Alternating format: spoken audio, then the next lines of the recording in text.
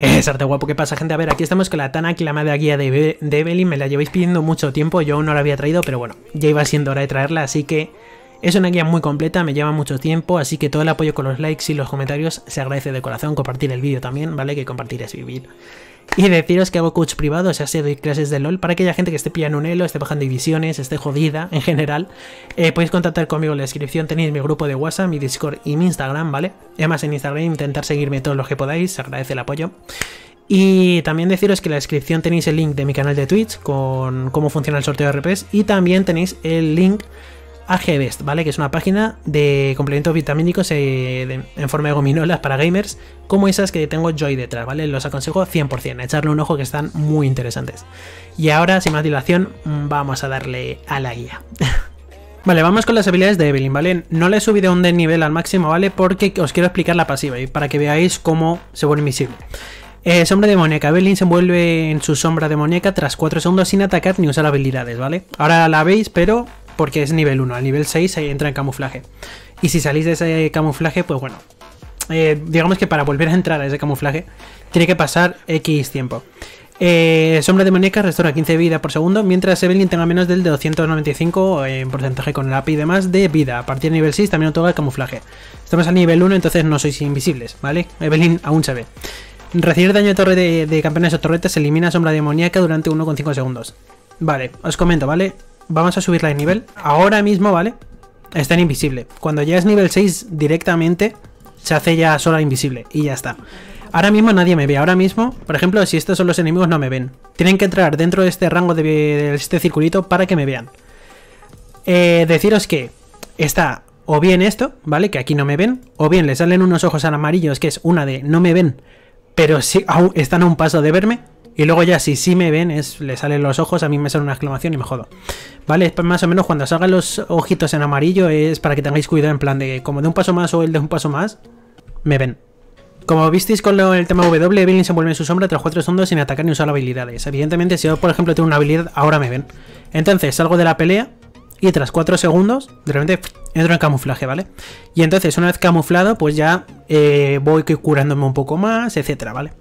Ah, evidentemente dependiendo de la vida que tenga, ¿vale? Tiene que ser menos de lo que ponga ahí, en la pasiva. Y luego eso. Si yo, por ejemplo, estoy camuflado, pero me tiran un skill shot, por ejemplo, y me dan, o sea, si de aquí, imagínate que tiran la RAS y me da. Pues entonces a la mira camuflaje, ¿vale? Y ya, y ya me ven. Y entonces eso dura 1,5 segundos hasta volver a... Mira, por ejemplo, la torreta pasa más de lo mismo, ¿vale? La torreta aquí me ve, pa, me da. Se me jode el camuflaje, pero entro más rápido en camuflaje, ¿vale? Como veis aquí. Ni más ni menos. Vamos con la Q, de odio. Evelyn golpea con su látigo, inflige 55 de daño mágico, cuanto más AP más daño. Al primer enemigo golpeado y provoca que sus siguientes tres ataques o habilidades contra enemigos eh, eh, contra esa unidad infligen 55 de daño mágico adicional. Evelyn puede lanzar, eh, volver a lanzar la habilidad hasta tres veces, ¿vale? Esto es una skill shot, te sale este rango, lanzas y lanza una especie de látigo. ¿Y entonces qué pasa? Para empezar le salen estos tres, ¿vale? Este objetivo recibe daño adicional de los próximos tres ataques o habilidades. Ahí. O hechizos de Evelyn. ¿Vale? Yo si le meto una habilidad, la E por ejemplo, consumo las cargas esas y entonces hago más daño. Y lo mismo pasa con cualquier otra habilidad. Pero tú cuando lanzas el látigo, vuelves a tener la Q, pero en vez de un látigo son púas. O sea, si ahora no. Ahora este es el alcance que tienen. Y si yo le doy a la púa, doy al objetivo más cercano. Sin más. O sea, si la primera es una skill shot, pero después de la skill shot aparecen púas. Entonces, la primera tengo que intentar darla, ¿vale? Y luego ya una vez me puedo ir moviendo y puedo ir lanzando Q. Las tres Q siguientes son púas que dan al objetivo más cercano. Ya está. ¿Vale? Eh, eh, a ver, eh, relanzamiento. Evelyn lanza tres púas a través del enemigo más cercano. Inflige 55 de daño a, a todos los enemigos golpeados. Por el hecho de que, mira, por ejemplo, si yo me pongo aquí y tiro la púa, veis que tiene bastante rango la púa. Aquí he dado a este y a este. Pero claro, posicionándome aquí. Si me posiciono un poco más para acá, pues solo a este. Tengo que posicionarme ahí más o menos, ¿vale? Para dar a los dos. Digamos que tú das al más cercano, pero también la Q sigue. Vamos con el tema de la W. Eh, set de lujuria.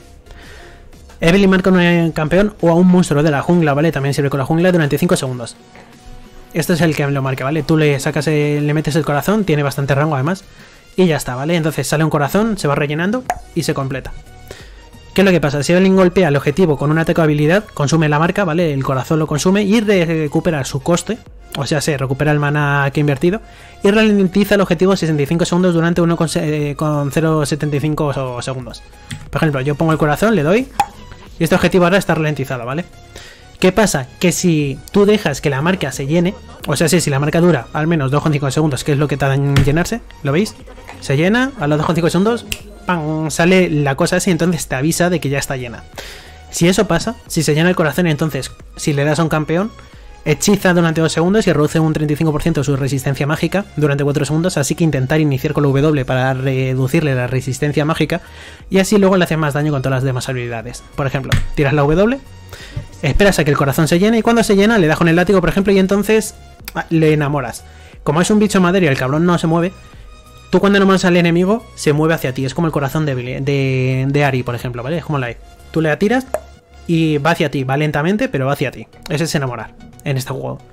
Y luego contra monstruos en la jungla, pues se le, los hechiza también, pero durante 4 segundos. Y les inflige más daño, ¿vale? A los campeones les hechiza 2 segundos y le baja la resistencia mágica, así que todo, todas las demás habilidades de Evelyn le hacen más daño durante esos 4 segundos, así que aprovechar el burst. Y luego eh, contra monstruos, pues les hace más daño y encima los, los enamora más tiempo. La E, látigo potenciado. Evelyn azota a un enemigo lo que inflige 115 más un 3% de daño mágico según la vida máxima. Cuanto más vida, más daño. Y Evelyn obtiene un, eh, obtiene un 30%, 30 de velocidad de movimiento durante 2 segundos. Tú tiras la E, es una skill shot, ¿vale? Bueno, una skill shot que diga. es una habilidad de estas de rango, no tiene mucho, ¿vale? Pero bueno, tú solo con clicar encima del enemigo, una vez esté cerca, pues le salta. Sin más. Entrar en la sombra demoníaca reinicia el enfriamiento de esta habilidad y la potencia, ¿vale? Así que la E hace más daño cuando estás en oculto. Si yo la tirase ahora viéndome, ¿ves? Ahora mi W quita menos. Pero si me pongo en oculto... Ahora. Hace más daño, ¿vale? 220, aquí ya 147, 147, 147, 147, lo habéis visto, ¿no? Eh, titi, titi. Cuando esta habilidad está potenciada, Evelyn se desliza hacia eh, se desliza hasta el objetivo e inflige 175 más 4% de daño mágico sobre la vida máxima de su objetivo y a todo el que atraviese. Para esto es tan simple como es mejor usarla ahí cuando estás en, eh, en, las sombras. Así que lo que se suele hacer muchas veces es pues W y luego ya entras con la E, si puedes. Vale, entonces ya le metes la Q y le vas lanzando púas, sin más. Se aprovecha bastante más el daño. ¿Veis? Como veis. Mm, mm, mm, Quería ver Vas a esperar a que el corazón se llene. Ahí está. ¿Ves? Se reduce la resistencia mágica al objetivo, ¿vale? Para que veáis cómo es el icono que sale de la W. Eh, y ahora vamos con la R. Eh, hacedora de viudas. Evelyn libera su energía demoníaca. Eh, creí que no estaba grabando, sorry. Evelyn libera su energía demoníaca, inflige mucho daño. Ahora vamos con la R, ¿vale? Hacedora de viudas. Evelyn libera su, energía demoníaca e inflige mucho daño. Se hace inalcanzable y se teletransporta hacia atrás tiene todo este rango, ¿vale? O sea, sí, el abanico es el rango de daño que tiene. Por ejemplo, aquí daría este bicho. Y lo que veis detrás, que es un circulito chiquitito, es hacia dónde va a ir Evelyn después de lanzar la habilidad. ¿Qué hace esto? ¿Vale? Se hace interjetable, la cabrona. Y hacerse interjetable, ¿qué significa? Que justo cuando tú tires la R, si te da igual lo que te tiren, tienen lo que te tiren, no te pueden tocar. O sea, sí. Si justo tiras la R y, un Ceres te lanza la Q y ya estás con la R puesta, te, pasa por encima la R, en plan, no te pueden hacer nada en ese momento. Eso volverse intargetable.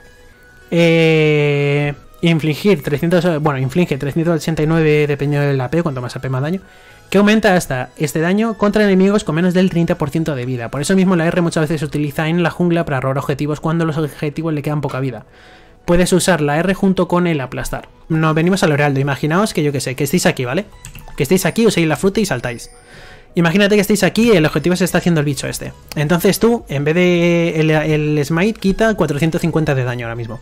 Pues más o menos, miréis cuánto daño hace tu R y podéis hacer R aplastar, ¿vale? En el aire. Y entonces, ¿qué pasa? Que con la R, como saltas hacia atrás, saltas paredes. Por eso la R muchas veces para japar es la hostia, tiras la R y ahora y te japas. Y también puedes robar así objetivos, porque te puedes meter a full, tirar una R, una aplastar, y entre la R y el aplastar hacen bastante daño, los dos juntos. Entonces más de una vez puedes llegar a robar algún objetivo. Es algo muy importante, es algo a tener muy en cuenta. Vamos con el primer combo y el más sencillo de Evelyn. Ya seas nivel 3 o nivel 6 y con el camuflaje da igual, se suele iniciar con la W a la hora de gankear porque tiene muchísimo rango y te da tiempo. Evidentemente no lo, no lo tires desde muy lejos porque el enemigo en cuanto tú lo tiras, aunque seas invisible, él sí ve el corazón, ¿vale? Que no lo dije en las habilidades, se me olvidó, pero bueno, os lo digo ahora. Cuando tú nada más lances la W, aunque estés en invisible o estés muy lejos, da igual, el enemigo sí que ve el corazón, entonces sabe que el Belin está al acecho. Así que tirarle W desde lejos, pero tampoco tanto. No vaya a ser que el enemigo diga, hostia, me piro y le dé tiempo a irse. Entonces después se inicia con la W, ¿vale? Se espera que el corazón se, se termine para meterle el tema de, para enamorar al objetivo y, cortarle y reducirle la resistencia mágica. Así luego todas las hostias que le des le hacen más daño. Y evidentemente se suele iniciar luego con la Q, cuando una vez está enamorado, porque es el látigo y es la habilidad que más rango tiene de Develin, ¿vale? También podría ser la ulti, pero la ulti te teletransporta hacia atrás.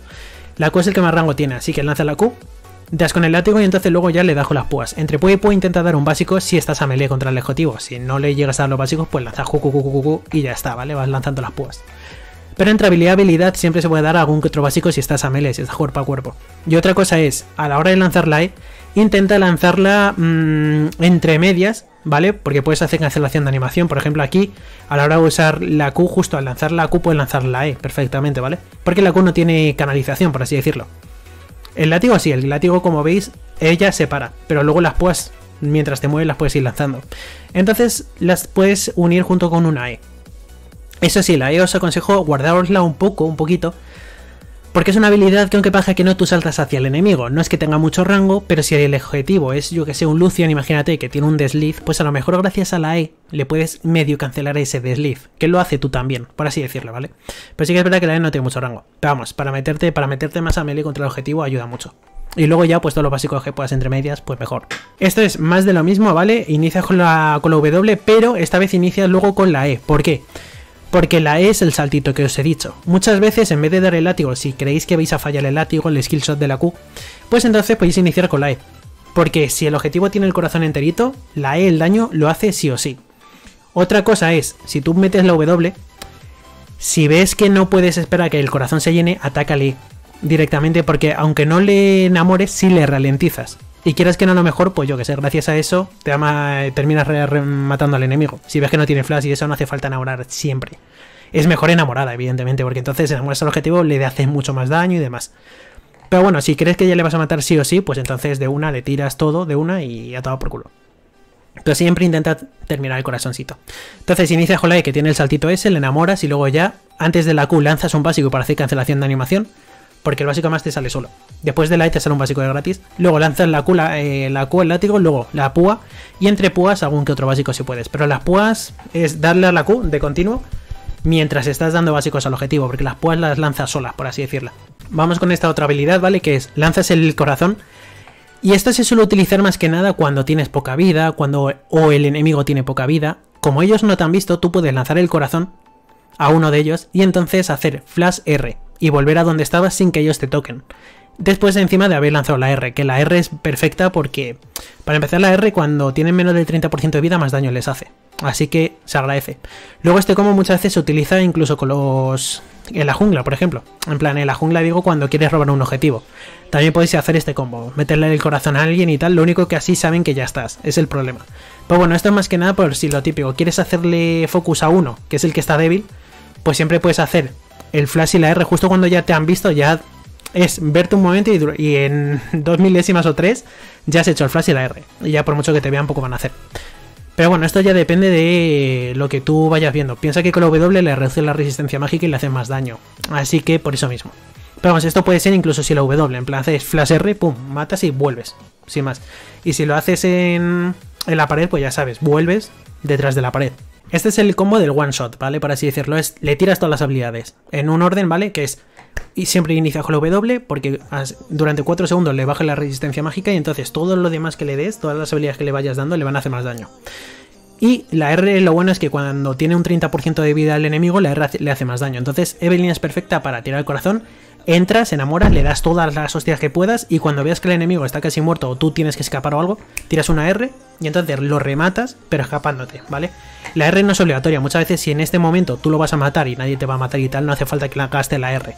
Pero esto se suele utilizar cuando tú te metes en una teamfight, estás dando de hostias a uno y estás a punto de morir tú también. Pues luego finiquitas con una R, haces daño a todo lo que puedas, matas a alguien y te escapas con la R. Ya os dije, ¿vale? Que el corazón no hace falta llenarlo. Esto digamos que es un combo muy rápido. Este combo no sé por qué no lo utilizan casi las Evelyn. Y este combo es muy importante.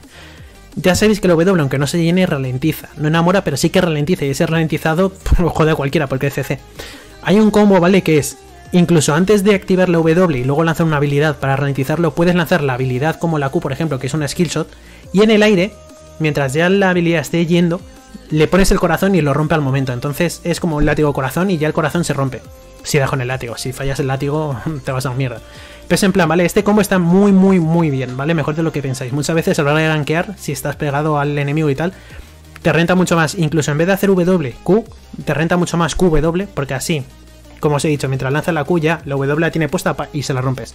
Y entonces haces todo mucho más rápido. Y luego ya pues le metes los combos que os comenté antes. Y este combo es muy interesante porque la R no solo se puede usar, bueno, no solo se usa de manera agresiva, que casi siempre sí.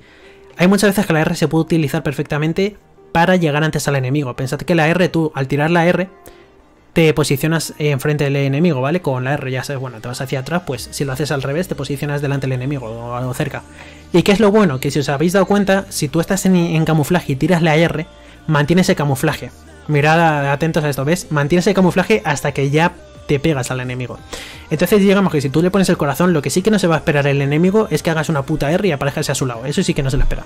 Este es un combo a tener muy en cuenta también, ¿vale? Es un pequeño combate, un combate o lo típico, ya que a lo mejor el enemigo está, pasa por las hierbas estas de ahí, tú estás detrás de la... Eh, hay un muro enfrente, y si quieres llegar al enemigo, por cojones tienes que saltar el muro. Y la única forma es usando un flash, pero si no tienes el flash, puedes lanzar la R perfectamente, saltar la pared y darle de hostias. Evidentemente la R es mejor usarla en teamfight, guardarla para el final, guardarla para robar objetivos, usarla de manera agresiva para hacer daño. Pero si en el caso en el que el típico que se esté japando o le viaja un poca vida y haya un muro en medio, dice, mira, no tengo flash, tiro la R, pa, y lo mato. Y así además te guardas el summoner de la, del flash, porque el flash luego tiene 300 y pico segundos de enfriamiento. Cambio la R de Evelyn tiene menos. Así que muchas veces te puede rentar más iniciar con la R que iniciar con un flash. Así es como se le maximiza las habilidades a Evelyn, ¿vale? Se le maximiza la Q, de ahí la I por último la W. Evidentemente la R al nivel 6, al nivel 11 y al nivel 16. El tema de la W al nivel 4 se suele subir a veces, por el hecho de que al subir al nivel 3 la Q otra vez, te es más fácil farmear. Pero bueno, si vas a gankear al nivel 3, 100% píllate mejor el corazón. Y así ya tienes el corazón y tal. Pero bueno, a mí con Evelyn no me gusta gankear hasta que o el enemigo no está muy pusado o hasta que no soy nivel 6, porque si no tiene camuflaje, no me mola tanto. Ya una vez tienes el nivel 6 y se te activa solo el camuflaje ya y entonces mola más. Y en cuanto a los summoners, se suele jugar con, siempre con flash y aplastar, ¿vale? El flash es muy importante con Evelyn, sobre todo para robar objetivos como os comenté con la R y el aplastar y demás. Aunque también podéis ir comprender si vais muy agresivos, pero bueno, a mí yo prefiero Flash y aplastar el Smite, vamos. Ahora vamos con las runas más utilizadas en meta actual con Evelyn, ¿vale? Que son en dominación, electrocutar, ¿vale? Golpear un compañero con tres ataques o habilidades diferentes en un margen de 3 segundos, que es súper fácil con Evelyn. E inflige daño a la tabla adicional, o sea, se cae un rayo al cielo y le da una hostia al objetivo. Esto ayuda a tener más busteo, a bustear, ¿vale? O sea, si tú te vas, vas a por el objetivo, le metes mm, habilidades y básicos, pum, y le cae un rayo al cielo y entonces le hace más daño gracias a eso. Ya está. Y tiene un enfriamiento de entre 20, 25 y 20 segundos. Eh, impacto repentino. Puede salir de sigilo, el tema del camuflaje.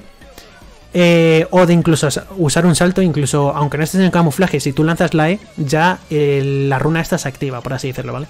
Entonces, infligir daño a un campeón le otorga 7 de letalidad. Ya sabéis que la letalidad es haces más daño a los objetivos que de base tengan poca armadura y resistencia mágica, o sea, sé que aguanten poco. Por ejemplo, un Garen al nivel 1 sin ítems y una Yumi al nivel 1 sin ítems, ¿quién aguanta más? Garen. Pues entonces con letalidad le haces más daño a Yumi. ¿Vale? No sé si me habéis entendido. os he puesto el ejemplo para que lo entendáis mejor. Le hace más daño a los que de base aguanten menos. Y luego, penetración mágica, ¿vale? Pues contra tanques. ¿Qué tiene resistencia mágica? Pues mira, les hace más daño. Colección de globos oculares, vas asistiendo y plantando y cada vez te vas haciendo más fuerte. Y cada vez incesante obtienes un 5 velocidad de movimiento fuera de combate. Te viene puta madre sobre todo para moverte por el mapa y a la hora de gankear para llegar más rápido. Y también se puede jugar con cazar definitivo, que tu definitivo tienes 7 de velocidad de habilidades, tienes ante la R y 5 de habilidades de, de, velocidad de habilidades. O sea, sí, tienes ante las habilidades y la R mucho antes. Ya está. Tanto una como otra son bastante efectivas, ¿vale? Esto ya depende de lo que podéis jugar las dos, podéis probar con las dos y ir mirando a ver cuál os convence más. Eh, con esta terminas teniendo más movilidad, eso sí que es verdad. En cuanto a las runas secundarias, se puede pillar por un lado calzado mágico, ¿vale? Te regalas las botas, corres un poquito más eh, de manera eh, adicional durante toda la partida. Y no te gastas, al regalarte las botas, claro, no te gastas oro. Así que te ahorras 350 de oro, así que no está mal. Y luego perspicacia cósmica, velocidad hechizo invocador. Tienes antes eh, tanto el flash como el smite. Y luego velocidad de objetos. Si tienes algún objeto como el cinto misil, por ejemplo, que es una activa, pues lo tienes antes.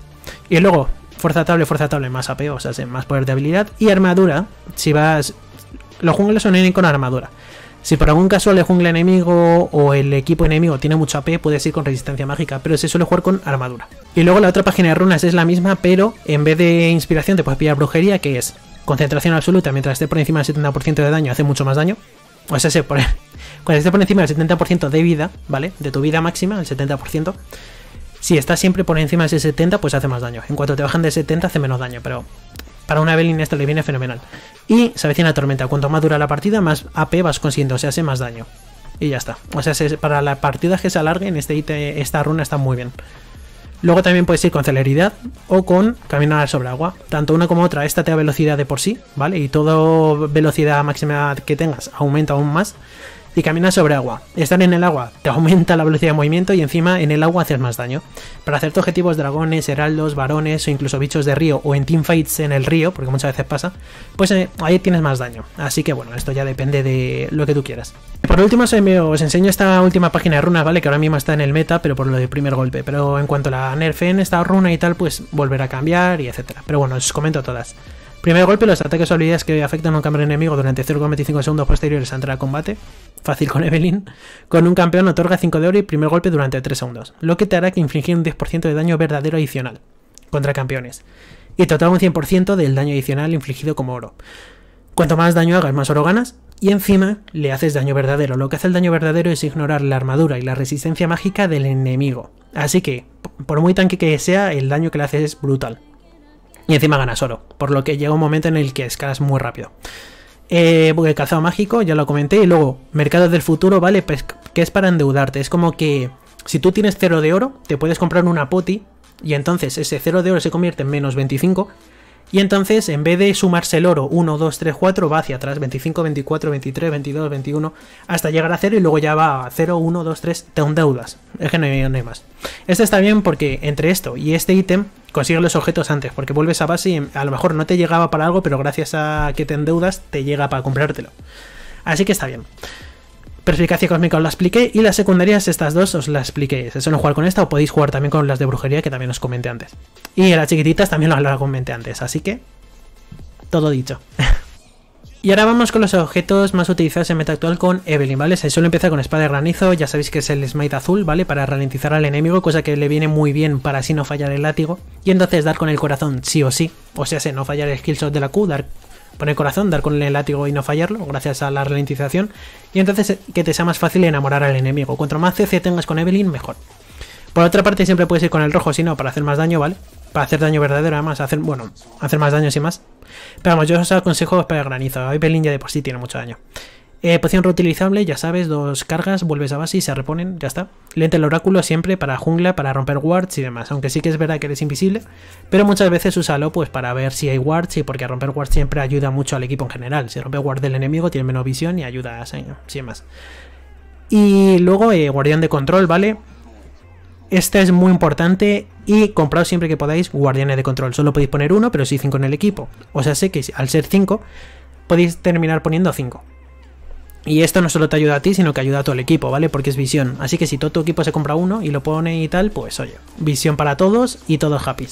Así que esto no es solo cosa del support, es cosa de todos. Ya sea stop, mid, ADC, me la suda. En cuanto a los ítems eh, que más utilizados, la build más utilizada, ¿vale? Está por una parte 100 misil Hex como objeto mítico, que además de todo lo que te da, te una activa que te deslizas hacia una dirección seleccionada, lanzas uno, un arco de, misiles, hacen un X daño, ¿vale? Dependiendo cuanto más AP, más daño hacen. Y encima tienes un 30% de velocidad de movimiento al desplazarte hacia campeones enemigos. Además de que te desplazas, por lo que te es mucho más fácil meter el combo del corazón, por eso este ítem es perfecto para Evelyn.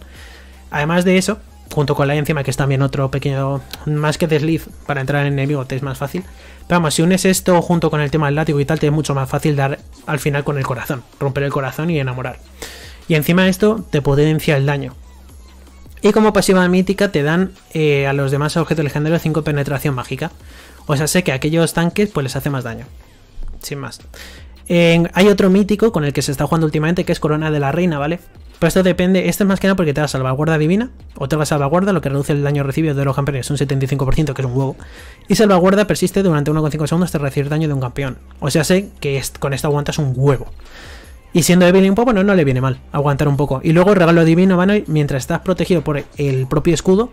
Y durante 3 segundos después de que, que se rompa obtienes poder de habilidad. O sea, sí, que el escudo te hace aguantar, pero mientras está el escudo puesto y con eso aguantas más, encima metes más, hace más daño. Por eso mismo este ítem está bastante bien, ahora mismo con Evelyn también, pero yo prefiero Ciento Misil por lo de la activa, es increíble, le agradece muchísimo. Y esta te da pasiva, como pasiva, te da 1% de velocidad de movimiento y 8 de poder de habilidad, no está mal, pero prefiero Ciento Misil, la verdad. Pero ya sabéis que los metas van cambiando, así que... En cuanto a la bota, bota de hechicero siempre, para hacer más daño porque te da penetración mágica. Luego sombrero mortal de rabadón, te da muchísima poder de habilidad y encima aumenta tu poder de habilidad total un 35%. Si ya de por sí tienes mucho AP, encima lo aumenta más. Sin más, esto es para hacer mucho más daño. Luego, bastante del vacío, ítem muy bueno porque haces mucho más daño y sobre todo contra tanques. En el equipo enemigo hay un tanque, este ítem es primordial, ¿vale? Porque le haces mucho más daño. Por la penetración mágica que es 45%, es un huevo.